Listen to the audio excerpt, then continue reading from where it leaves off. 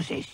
Oi, stop that. It's shocking and should be banned. It is the spitting image game of scandal, and it's in the shops now. Do not be caught with it, or else...